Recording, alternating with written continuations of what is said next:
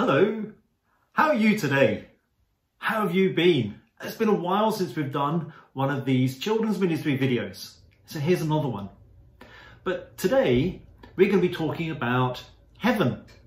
And it's mainly going to be me today.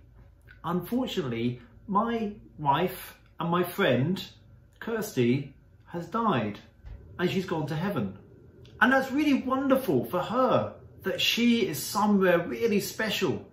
But it doesn't mean that I don't miss her and I'm sad that she's not with me. Maybe you've lost someone or felt sad when you've had to move school or home or even move to another country. It's very sad when we don't have our friends with us anymore. And it's okay to be sad. And it's okay to tell others when we're sad. And it's okay to cry when we're sad. Sometimes I feel sad and I cry when I think about Kirstie. But I can also be happy that she is in heaven, which is a very good place, where there's no more sadness and there's no more crying, and that she is with God. So today we're going to sing a couple of songs, and I have an old one that Kirstie sang that, that we'll use as well, and that will be very special. And then we're going to have a Bible story, and we talk about heaven in that Bible story. But first, let us say a little word of prayer. So just bow your heads and we have a little prayer. Dear God, you are wonderful and the creator of all things. Thank you for all the people and the things you put in our lives. Please help us to do the things that please you. Help us when we are sad. Help us to have good times together today, singing songs and learning about heaven. Amen. So first song today is going to be My God is So Big. So have your action hands ready. I'm going to sing My God is So Good. My, my God is So Big.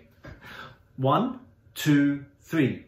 My God is so big, so strong and so mighty. There's nothing that God cannot do. My God is so big, so strong and so mighty, there's nothing that God cannot do. The mountains are his, the rivers are his, the stars are his handiwork too. Blink, blink! My God is so big, so strong and so mighty, there's nothing that God cannot do for you.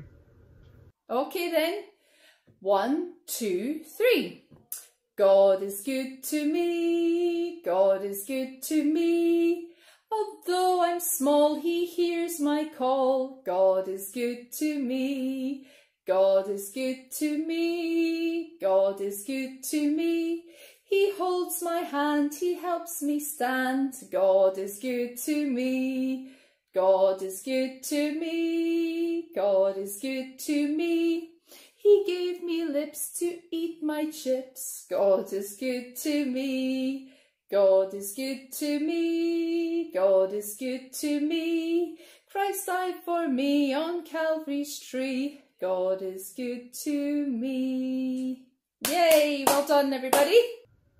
So today we've got a story on heaven from our book, the Children's Bible. Heaven to Come, from Revelation chapters 21 and 22. One day, Jesus showed the disciple John something very special.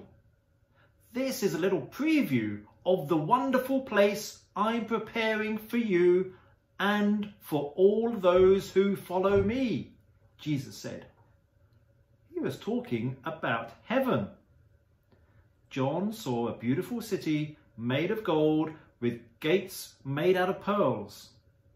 The throne of King Jesus is in the city, and all God's people live there with him. They sing and praise him all day long. No bad people can go into the city, and there's no more crying or sickness there. Everything that's sad will be gone forever. in Psalm 16, verse 11. You will show me the way of life. grant me the joy of your presence and the pleasures of living with you forever. Heaven. Welcome to the home of our Heavenly Father. Open to mum, dad, friends, sisters and brothers. In my everyday life. Fairy tale or reality? Look at these amazing fairy tale castles. Imagine if we had our very own to live in. But God is making us a real one of these in his home, heaven. It's true. I read about it in my Bible and God always keeps his promises.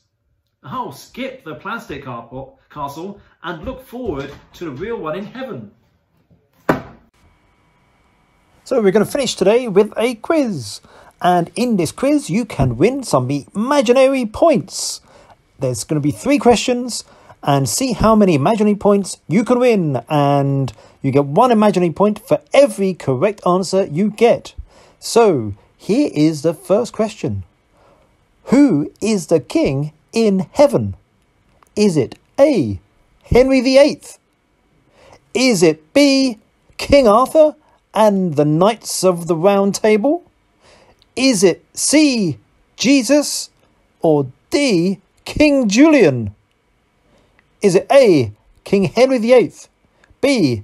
King Arthur and his Knights of the Round Table? C. Jesus or D. King Julian? And for one imaginary point, the correct answer is C. Jesus. If you got that one right, give yourself one imaginary point. And on to the next question. Who did Jesus show the revelation to? Was it A. Peter, B. James, C. John, or D. Paul? Who did Jesus show revelation to? A. Peter, B. James, C. John, or D. Paul? And the correct answer is C. John. And if you got that one right, give yourself another imaginary point. And our third and final question is How long do we get to spend in the wonderful riches of heaven? Is it A. 50 years? B. 1 million years? C. A very long time? Or D. Forever or an eternity? Is it A, 50 years, B, 1 million years, C, a very long time, or D, forever or an eternity? And the correct answer is D, forever, which also means an eternity, which is amazing. That's how long we spend with Jesus and with all our friends in this wonderful place where there's no more tears, no more suffering, just peace and love and joy. And it'll be so amazing to be there one day. Count up how many imaginary points you got in today's quiz, and that's the total. So thank you so much for joining today and hope to see you again soon. Bye bye.